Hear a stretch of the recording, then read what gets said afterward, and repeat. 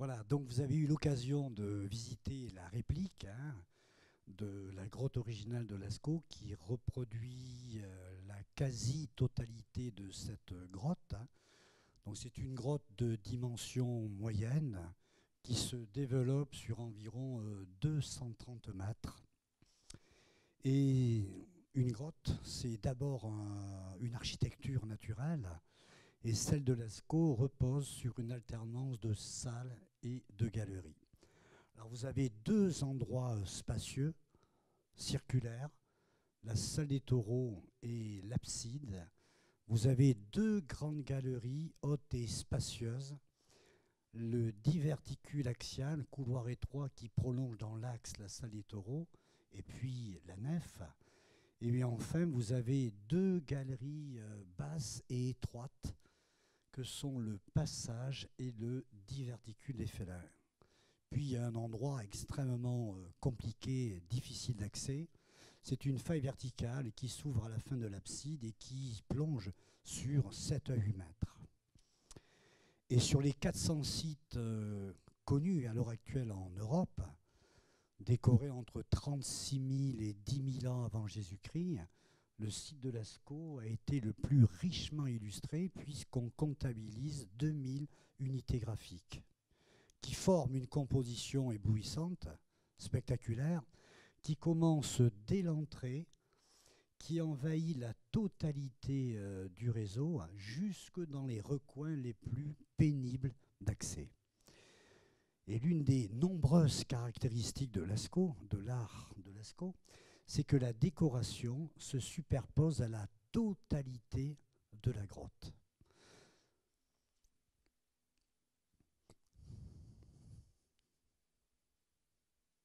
Alors, on comptabilise environ 950 représentations animales, dont 600 dûment identifiées, un millier de tracés géométriques que les préhistoriens ont appelés signes, dont 400 structurés dans leur organisation.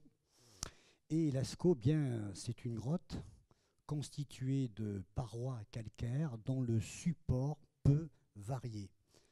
Et il y a deux supports principaux dans Lascaux.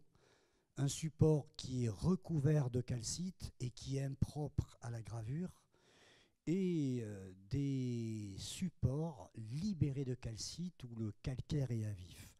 Et ces différences de roches ont provoqué une distribution euh, différente entre les peintures et les gravures.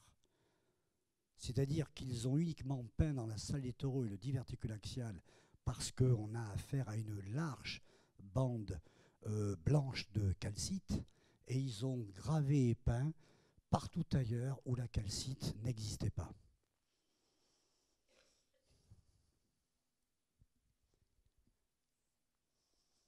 Donc je lisais tout à l'heure, c'est une alternance de salles et de galeries. Les préhistoriques apparemment y ont été sensibles, puisque dans les ensembles euh, circulaires, comme ici la salle des taureaux, sans se déplacer, on embrasse la quasi-totalité des figures qui tournent autour de nous.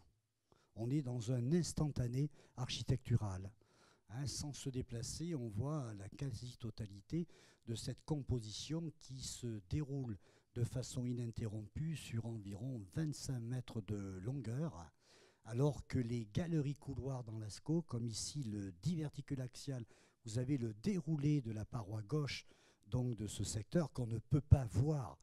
Euh, ainsi lorsqu'on est in situ dans la galerie euh, des peintures, eh bien les galeries couloirs dans Lascaux imposent le déplacement de l'entrée jusqu'au fond et on part dans une découverte progressive des représentations. Et c'est une fois qu'on arrive au bout de cette galerie, au niveau du cheval renversé, que le regard peut relier à nouveau symboliquement toutes ces représentations qui remontent jusqu'au plafond que l'abbé Breuil avait comparé à la chapelle Sixtine à Rome. Alors on voit de suite euh, donc euh, cette euh, différence de support, euh, cette euh, différence de matière, donc qui entraîne deux couleurs différentes. En haut, on a donc un bandeau blanc de calcite et dans la partie inférieure, c'est la banquette encrassée argileuse. Et cette différence de matière a provoqué à Lascaux des compositions qui, de l'entrée jusqu'aux extrémités, sont complètement aériennes. Et c'est une autre caractéristique de Lascaux, c'est-à-dire qu'on est dominé en permanence par des figures qui sont au plafond et en voûte. Alors, ça a également facilité euh, le travail des artistes puisqu'ils ont pu cadrer leurs œuvres comme dans un tableau entre cette ligne de sol imaginaire sur laquelle se déplacent surtout les plus grandes figures, à savoir les taureaux, dont la taille augmente de la gauche vers la droite, et puis dans la partie supérieure, eh bien, c'est cette arête naturelle, cette découpe naturelle de la roche qui euh, permet donc de cadrer ces représentations. Et comme la salle est circulaire, eh bien, ils vont relier en boucle les représentations entre elles. Et ces figures sont dominées par ces immenses rocs. Vous en avez trois qui se déplacent de la droite vers la gauche. Le premier est ici, le plus grand de tous, qui atteint 5,60 m. Le second est ici et le troisième. Donc trois immenses taureaux qui vont dans le même sens et qui se développent aux limites du possible et le quatrième qui est ici et qui vient faire face au précédent. Donc c'est une composition dans la salle des taureaux qui est fondée sur la notion de symétrie, j'y reviendrai tout à l'heure. Alors que dans la galerie couloir, les figures s'égrènent sur un plan linéaire.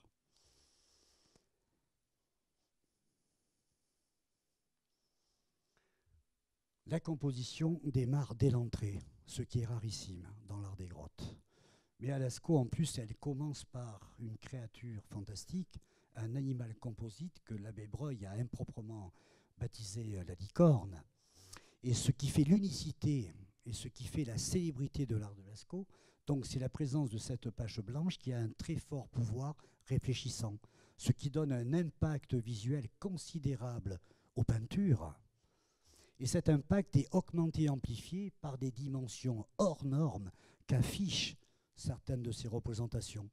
Il est rare de voir dans l'art des grottes un animal qui déplacerait le regard, euh, comme les taureaux à Lascaux. Et le tout est valorisé dans une symphonie de couleurs. C'est-à-dire qu'on est face à un immense panneau, une immense composition polychrome, avec des animaux tantôt noirs, tantôt rouges, tantôt jaunes. Alors on ne sait pas en combien de temps la décoration a été réalisée. On ne peut pas maîtriser le temps dans Lascaux parce qu'ils ont utilisé des colorants naturels qu'on ne peut pas directement dater. Mais l'abbé Glory, qui est l'archéologue qui a étudié Lascaux, avait euh, essayé, notamment dans la salle des taureaux, d'établir une planification de ces représentations. Et donc les premières figures sur cette paroi gauche eh bien, à avoir été réalisé, euh, ce sont ces petits chevaux noirs qui sont particulièrement animés et qui donnent l'impression de fuir cette créature inquiétante, puis ce tout petit cheval noir hein, qui sort du champ de visibilité, à peine reconnaissable. Dans un second temps, ont été réalisés ces grands chevaux bicolores avec l'animal composite. Dans une autre phase, eh bien, ce sont les immenses taureaux qui viennent englober la totalité de ces représentations. C'est-à-dire qu'il ne s'agit pas d'une composition faite à la légère au cours du temps. Il y a eu un respect des figures anciennes qui ont été intégrées au fur et à mesure. C'est-à-dire qu'on n'est pas face à une accumulation aléatoire de thèmes mais face à un mode de composition tout à fait calculé, par exemple, on voit bien qu'il y a un rapport très étroit ici entre la tête du cheval et le garrot du taureau. Ses jambes évitent soigneusement les cheveux noirs du dessous. La robe mouchetée respecte le cheval. Dans le même style et les mêmes teintes, un second vient s'emboîter au niveau de la tête entre l'encornure du deuxième taureau. Il émerge de la roche à son tour pour peut-être laisser place aux cerfs qui viennent en dernier et au final qui assure une continuité visuelle entre toutes ces figures. C'est-à-dire qu'au final, lorsqu'on regarde un auroch, on voit automatiquement le cerf ou le cheval. Ces figures finissent par se lire ensemble. Les signes sont nombreux, j'y reviendrai euh, tout à l'heure, et j'avais parlé d'une notion de symétrie qui vient de ces grands taureaux qui se font face. La symétrie se poursuit. À droite, nous avons des cerfs, à gauche, nous avons des chevaux. À gauche, on a un grand signe rouge qui vient en réponse de ce grand signe noir et comme une touche finale à cette œuvre picturale, à gauche une ponctuation rouge, à droite une ponctuation noire. On a une composition très équilibrée dans la répartition des différents thèmes.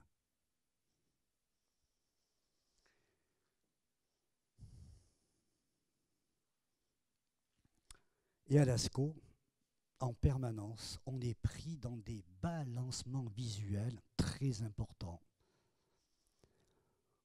On a des secteurs monumentaux, comme la salle des taureaux, mais on a aussi des secteurs plus confidentiels, plus discrets. Et c'est le cas de cette vache rouge qui émerge de la roche avec une discrétion extrême elle se trouve à la fin du passage que vous avez vu tout à l'heure. Et ces degrés de lecture non seulement existent à l'échelle de la grotte, à l'échelle d'une salle et à l'échelle d'un panneau. En permanence dans l'ASCO, on passe du visible, du discret au caché, et ce n'est pas par un manque de place que certaines représentations ont été volontairement dissimulées.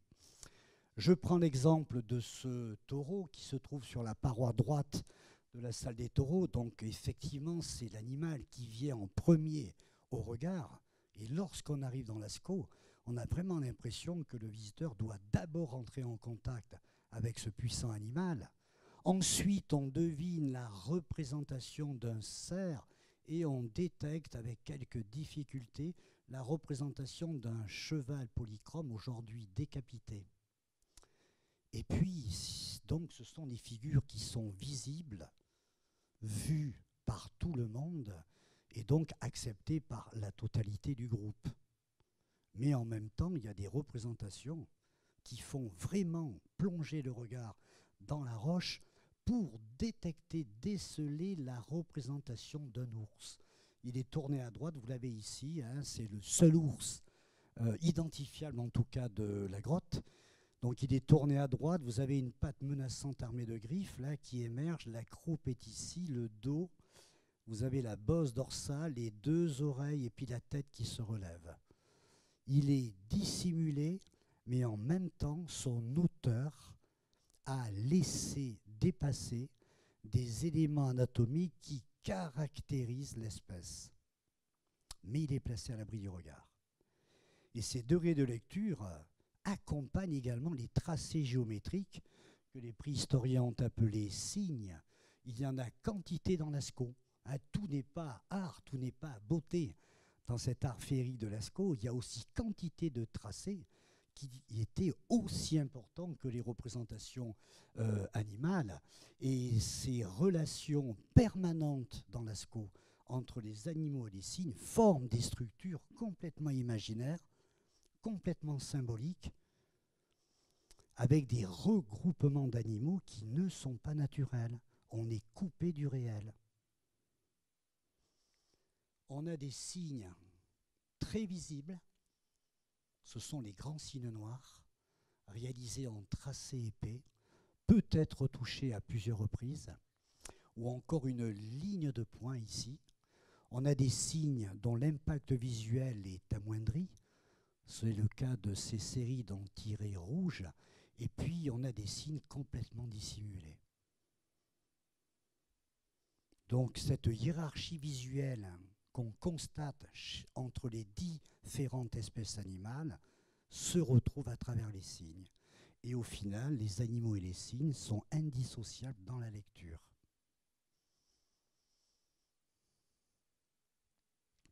Balancement visuel balancement thématique très très fort dans l'art de Lascaux.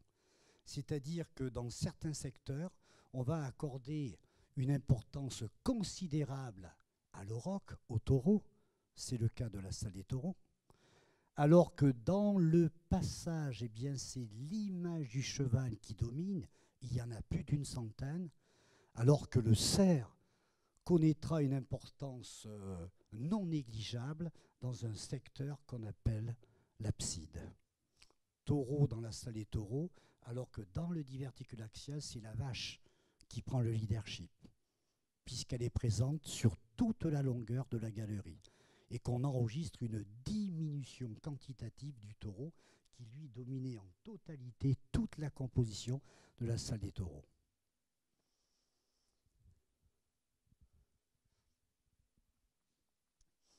Alors une autre de cet art de l'ASCO, c'est la quantité de signes. Un millier au total, dont 400 euh, organisés, avec un millier euh, donc, de tracés inorganisés. Et donc l'ASCO offre l'éventail le plus riche et le plus diversifié de ces formes géométriques de tout l'art paléolithique franco-cantabrique. Il existe des grottes où les animaux sont séparés des cygnes. Eh bien, à Lascaux, l'attirance entre l'animal et le cygne est constante.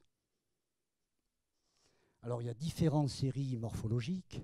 Vous avez des formes élémentaires, comme les ponctuations, qu'on retrouve à des endroits bien particuliers dans la grotte, qui encadrent euh, le dispositif pariétal. Ces ponctuations se retrouvent souvent au changement de galerie, aux extrémités de couloirs. Il y a des signes élémentaires comme des traits. Vous avez également des grands signes ramifiés. Vous avez des formes quadrangulaires, une quarantaine dans la grotte, qui apparaissent surtout dans le centre de la grotte et dans les parties les plus profondes du réseau.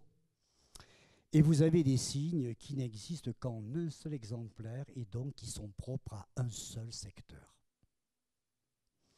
Et puis vous avez ces tracés inorganisés qui compliquent fortement la lecture des représentations qui se trouvent dans l'abside. L'abside, j'y reviendrai tout à l'heure, plus d'un millier de représentations. Voilà, ce sont des traits qui vont en tous sens. Et contrairement aux signes élaborés que l'on peut lire sans aucun problème, eh bien, il est impossible de suivre du regard ces tracés. Il est impossible de les comptabiliser et de les dissocier.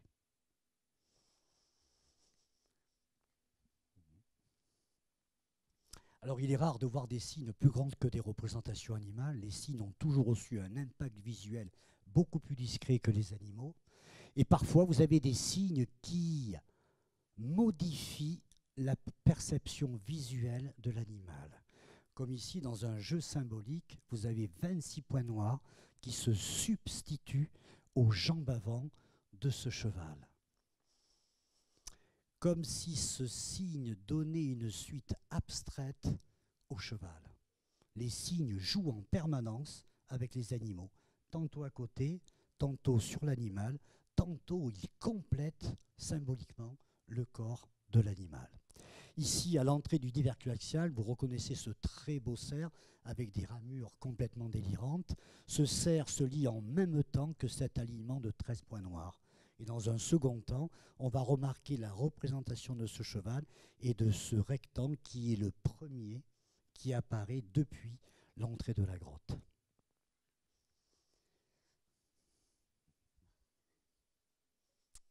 Alors là, donc, nous sommes dans le diverticule axial, à l'entrée, bien sûr. On retrouve à nouveau un jeu de couleurs très important à Lascaux. Ici, le rouge est donné pour les vaches, le jaune pour les chevaux, le noir pour le cerf qu'on a vu juste à l'instant. Et puis, au départ, ce sont des animaux qui flottent, si vous voulez, dans l'espace. Et au fur et à mesure que l'on descend dans la galerie, les peintures redescendent jusqu'à se stabiliser à nouveau sur des sols imaginaires. Et lorsqu'on arrive dans cette seconde partie du diverticule axial, le regard va d'abord détecter en premier l'image du taureau. Ce taureau est placé dans un endroit où le recul est suffisant pour le voir d'un seul coup d'œil. Les taureaux sont au centre des compositions comme ils étaient au cœur des mythes et des croyances de ces préhistoriques. Et dans un second temps, deux vaches rouges ont été superposées à l'animal. Dans un endroit restreint, ils ont accumulé beaucoup de représentations d'auroch. Et ces superpositions qui compliquent la lecture font contrepoint à la notion de l'esthétique, à la notion de l'art pour l'art. C'est-à-dire qu'on va déchiffrer cet ensemble par tentatives multiples de lecture, tandis que ces trois vaches, depuis le fond du divercule axial, se donnent dans l'instantanéité du regard. Il y a du temps qui va s'écouler pour déchiffrer toutes les représentations, alors que là, on est dans un instantané. Et puis, on continue à descendre. Face à ce panneau, il y a le fameux panneau de la vache sautante, où là, vous remarquerez qu'ils ont tout fait pour éviter les superpositions. Hein, vous avez la queue d'un cheval qui passe entre le sabot de la vache et la tête du cheval, et le signe qui s'insère entre la vache et d'autres représentations de chevaux, plus ou moins figuratifs. Notez celui-ci de couleur jaune qui passe complètement inaperçu et qui est tourné à droite. À nouveau, on revient dans ces euh, degrés de lecture. Donc d'un côté, on évite au maximum les superpositions, on crée des compositions aérées, de l'autre, on recherche les compositions. Et les grandes concentrations de superposition dans la salle des taureaux et le diverticule axial s'effectuent à chaque fois sur un immense taureau comme si l'animal fonctionnait comme un pôle d'attraction. On a l'impression que ces taureaux attirent à eux toutes les figures.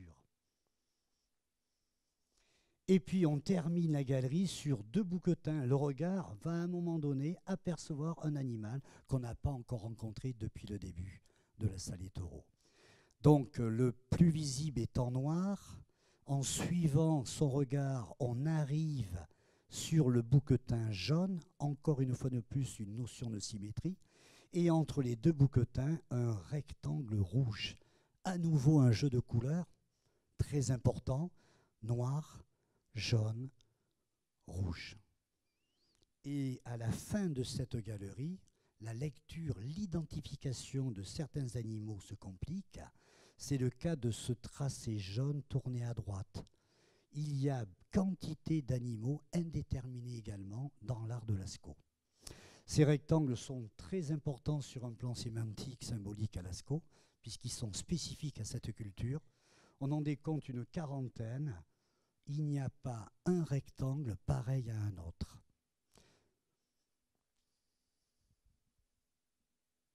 Et puis la créativité est, permanente c'est-à-dire qui joue en permanence avec la forme de l'animal, avec les détails externes ou internes, ou par la position. Ici, vous avez un cheval renversé, alors qu'ici, il est sur un plan horizontal. Celui-ci est bicolore, jaune et noir, celui-ci est polychrome. La crinière est noire, une partie d'un couleur est rouge et le reste du corps est noir. Ici, vous avez un cheval noir incomplet qui semble sortir de la roche rien ne se répète. Ici, vous avez les fameux chevaux chinois. Celui-ci a des détails que ne possède pas celui-ci. Le premier est accompagné de tracés linéaires noirs, tandis que celui-ci est en relation avec un rectangle et des signes en épi.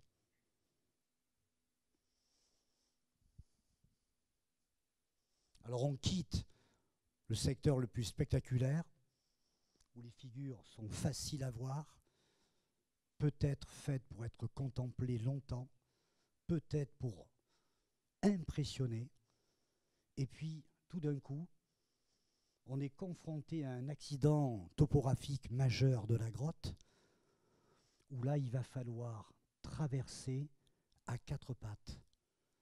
Puisqu'il y a 20 000 ans, au moment où Lascaux est élaboré, le sol était beaucoup plus haut à ce niveau-là les figures deviennent plus petites parce que l'espace est contraignant.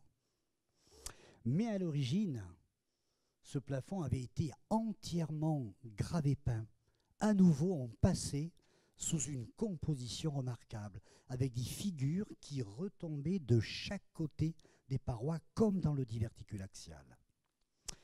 Malheureusement, au cours du temps, eh bien, ces peintures n'ont pas résisté euh, au courant d'air humide, chargé de gaz carbonique, qui petit à petit ont altéré les peintures. Ne subsiste aujourd'hui que la gravure. La gravure a été utilisée pour un art discret, la peinture a été utilisée dans la scope pour un art qui se voit de loin. Et si dans la salle des taureaux, sans se déplacer, les figures viennent à nous, eh bien dans le passage, la démarche est inverse. On est obligé de s'approcher très très près des parois pour lire ces gravures. Et voilà un relevé de l'abbé Glory qui permet de révéler toute la richesse de ce secteur, puisque sur 17 mètres de longueur, il a été comptabilisé 370 unités graphiques. C'est considérable c'est plus que la salle des taureaux et le diverticule axial réunis. On connaît des grottes en Périgord qui font une centaine de mètres de longueur et qui possèdent une centaine de figures, voire moins, alors que sur 17 mètres, dans ce passage, 370 représentations. L'activité artistique y a été très intense. Et ce passage permet de communiquer avec tous les autres secteurs de la grotte. Et dans ce secteur, c'est le cheval qui domine. Alors on sort du passage, on arrive dans la nef. C'est un secteur qui associe des volumes architecturaux à la fois d'une salle, comme la salle des taureaux, et d'une galerie, comme le diverticule axial. C'est-à-dire que c'est un secteur qui redonne de la perspective, qui redonne de la profondeur au regard, et sans se déplacer, à condition que l'éclairage soit suffisant, eh bien, le regard peut lire en même temps le panneau de la vache noire et la frise des cerfs qui lui fait face. Alors, vous avez ici euh, l'ensemble du panneau de, de, la vache noire. C'est un panneau qui se développe sur environ 7 mètres de longueur. Et de l'autre côté, ici, donc la frise des cerfs qui s'étire sur 5 mètres de longueur. Donc, le panneau de la vache noire est fondé sur des oppositions de couleurs puisque vous avez des chevaux rouges, jaunes, noirs. La vache est uniquement noire. Et à ses pieds, il y a ces fameux blasons, comme euh, les avait appelés l'abbé Glory. Donc ils sont polychromes.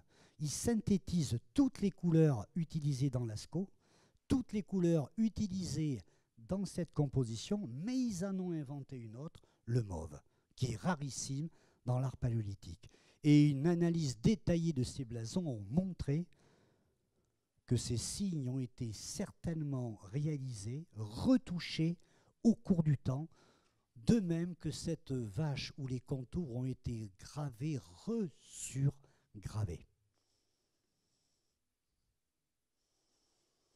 Et puis en face, les cerfs. Les cerfs qui sont des partenaires thématiques très importants dans l'ASCO.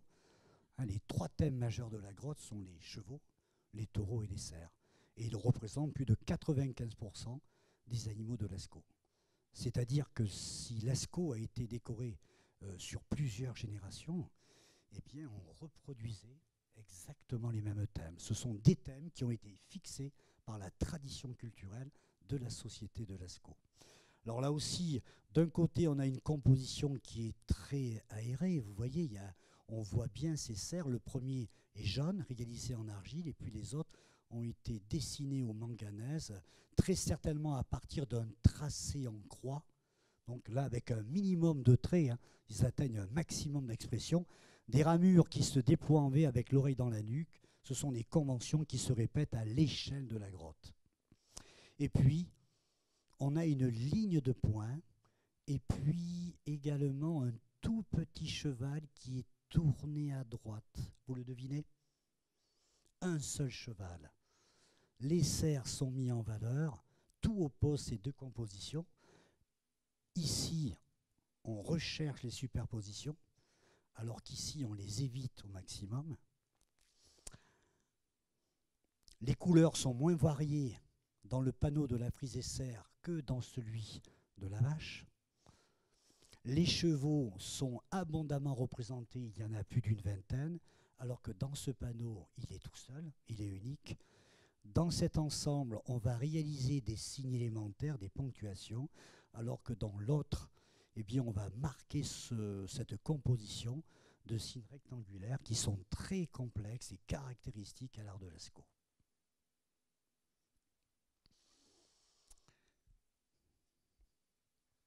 Alors l'abside est un endroit très, important puisque s'y trouve un peu plus de la moitié de la décoration de la grotte, plus de 1100 unités graphiques, hein, qui euh, ornent euh, la totalité de, cet espace, du bas des parois jusqu'au plafond. Hein, il n'y a pas un centimètre carré vierge de raclure, de peinture ou de gravure. Et au fond, alors vous avez ici un relevé de Glory qui met en évidence toute la complexité et la richesse de ce secteur. Hein. Et au fond de cette abside s'ouvre une faille qui donne accès à un endroit très original, le puits, où se trouve une composition d'une rare force narrative où on y voit une créature, un être composite, mi-homme, mi-oiseau. Voilà, vous avez ici la composition. Donc on voit cet être composite unique en son genre. Au-dessous, un oiseau dont la tête fait écho à celle de l'homme, et cet unique oiseau regarde en direction du seul rhinocéros connu dans la grotte. Donc dans un endroit retiré de la grotte, à l'écart du cheminement principal à effectuer, se trouve des thèmes originaux qui racontent peut-être un événement particulier.